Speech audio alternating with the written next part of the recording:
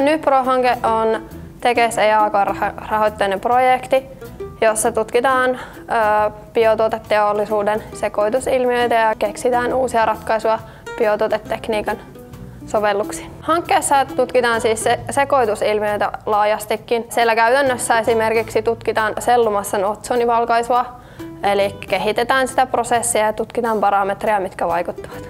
Hankkeen aikana on saatu tuloksia nimenomaan just sekoittamisesta ja päästy mittaamaan sitä sekoitusta aivan uusilla menetelmillä sekä saatu uusia havaintoja pienemmässä mittakaavasta niistä sekoitusilmiöistä, mitä, mitä tuolla biotuoteprosesseissa tapahtuu. Oppimisympäristönä tämähän on siinä mielessä harvinainen, että, että täällä kuitulaboratorilla päästään hyvin lähelle teollisen mittakaavan laitteistoja.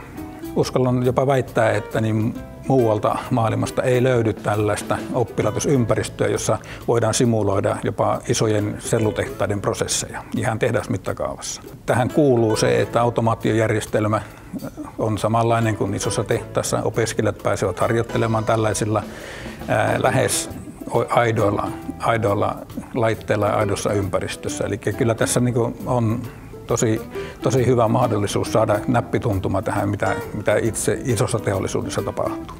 Opiskelijat ovat päässeet toteuttamaan muutamia case ja osittain jopa yrityksiltä annettuja aiheita. Eli he ovat tuolla käytännön tekemisissä tutkimus, tutkimuskokeissa mukana ja sen jälkeen tekevät meille niin kuin raportointia siitä.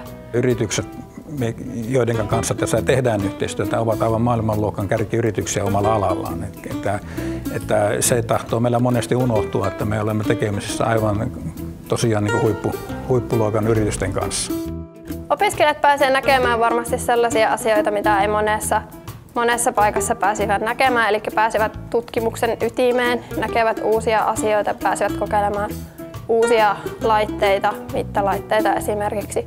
Ja sitten nimenomaan pääsevät itse siihen työhön, eli ohjaamaan esimerkiksi prosesseja, tekemään niitä mittauksia ja kehittämään myös sitä, sitä mittausta tai tuotetta esimerkiksi.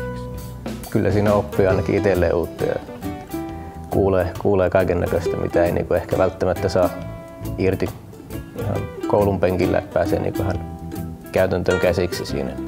Kyllä uskon ainakin, että on, että tätä projektia, mitä nyt teen, niin en ainakaan kirjallisuudesta ole löytänyt mitään tietoa ainakaan tässä vaiheessa, että miten se PLA reagoi sen kartonin kanssa. Niin uskon, että tulevaisuudessa on, on hyötyä siitä.